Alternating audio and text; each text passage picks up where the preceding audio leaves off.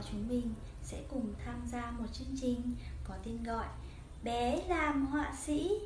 Và để bắt đầu vào chương trình Bé làm họa sĩ ngày hôm nay, Cô xin mời các con sẽ cùng hát với cô bài hát Vui đến trường nhé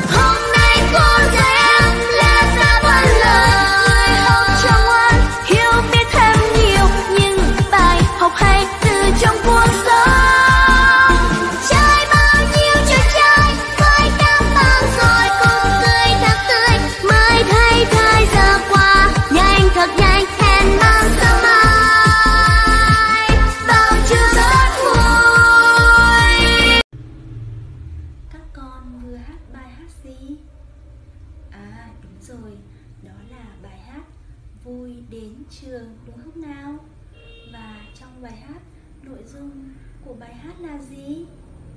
À, bài hát nói về ngôi trường mầm non thân yêu Có các bạn nhỏ cùng nhau vui chơi Có cô giáo dạy các con những điều hay lẽ phải đúng không nào?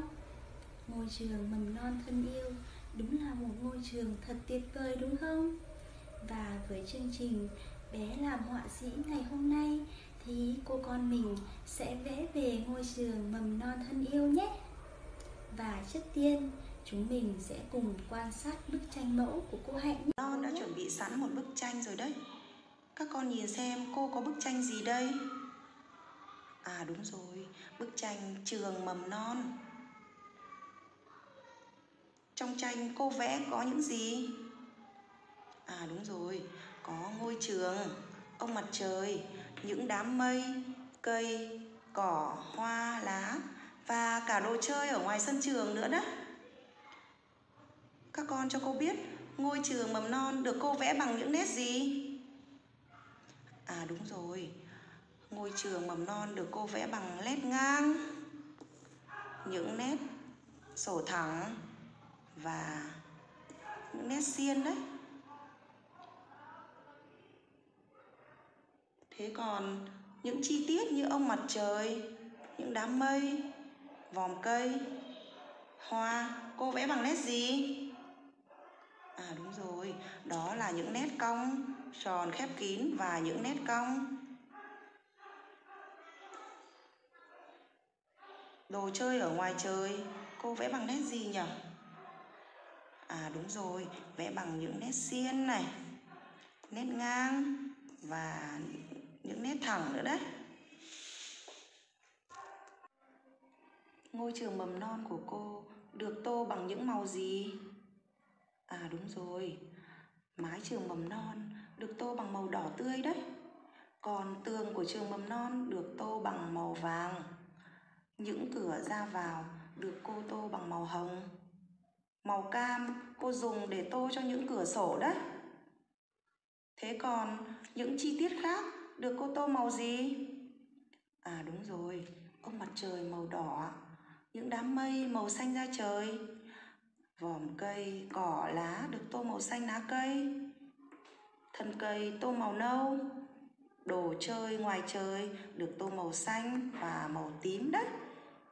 Thế còn nền của bức tranh cô tô như thế nào? Nền của bức tranh cô tô màu gì? À, các con trả lời rất đúng đấy. Lên của bức tranh được cô tô màu xanh nhạt và màu hồng nhạt đấy. Như vậy là cô đã vẽ xong bức tranh trường mầm non rồi đấy.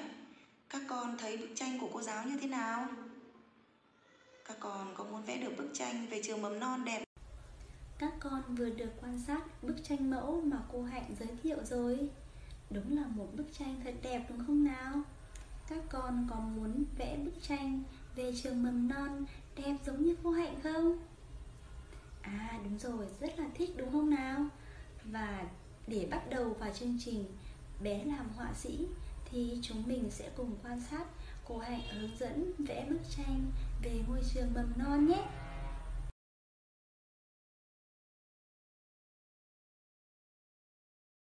Trước khi vẽ, các con hãy xem cô vẽ mẫu nhé. Cô xin phép được dùng bút dạ lông để vẽ cho các con nhìn rõ hơn. Đầu tiên cô vẽ một nét ngang. Tiếp theo cô vẽ một nét ngang thứ hai dài hơn nét ngang thứ nhất. Và cô dùng nét xiên nối hai đầu của nét ngang lại với nhau tạo thành mái trường. Sau đó từ mái trường cô vẽ hai nét thẳng. Các con lưu ý hai nét thẳng bằng nhau. Cô lối hai nét thẳng bằng một nét ngang như vậy, cô đã tạo xong các bức tường của ngôi trường. Cô vẽ thêm một nét ngang ở giữa. Cô đã có ngôi trường hai tầng rồi đấy. Tầng 1 và tầng 2. Tiếp theo, cô vẽ các nét thẳng để vẽ các phòng học. Ở mỗi phòng học, cô vẽ một cửa ra vào cửa ra vào cô vẽ có dạng hình chữ nhật cô vẽ lần lượt hết các cửa ra vào.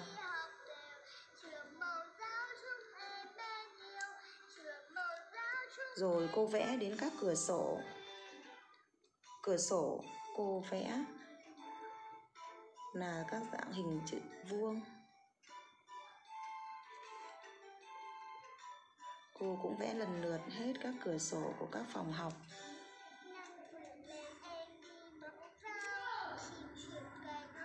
Như vậy là cô đã hoàn thành bức tranh ngôi trường mầm non rồi. Để bức tranh của mình sinh động, cô vẽ thêm một số chi tiết như ông mặt trời,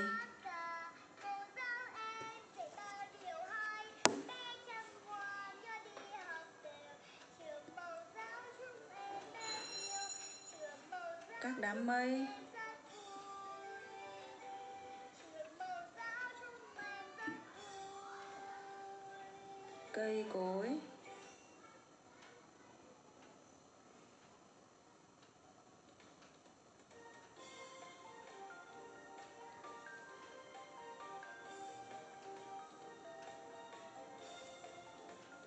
ở sân trường còn có đồ chơi ngoài trời, nên cô vẽ thêm cả đồ chơi ngoài trời đấy. Cô vẽ bập bênh, xích đu.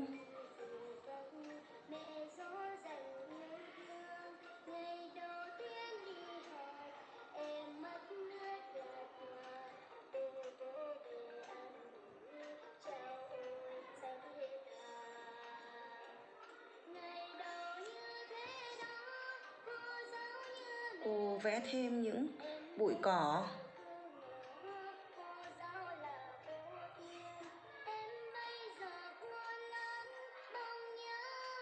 Trên những bụi cỏ, cô vẽ thêm những bông hoa, lá.